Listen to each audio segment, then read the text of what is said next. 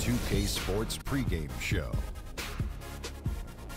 Hello and welcome, everybody. Ernie Johnson, Shaquille O'Neal, Kenny the Jet Smith. We're glad to have you with us on 2K Sports. And our coverage tonight will be coming to you from Washington, where the Wizards will be going up against the Milwaukee Bucks. We've seen some solid play from this Milwaukee team recently. They have been a team on a mission this season, best record in the NBA. We're getting deep into the schedule now, and they continue playing dominant basketball.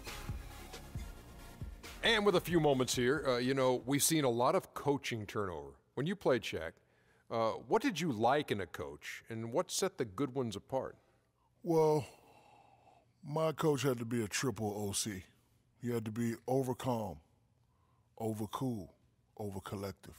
You know, especially with all the media whirlwind in LA, Phil Jackson is that guy. He kept things cool and collected in the locker room. He was a triple OC. Triple OC, almost like a triple, triple OG. But I'll tell you, great coaches have great relationships with their players.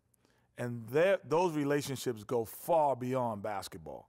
Most great coaches would talk to you 20% basketball, 80% life. Triple OC, 80 20. Good stuff. Good stuff. Happy to be here with you two guys. It's very deep. Uh, Kevin Harlan, take it away. Thanks, homie.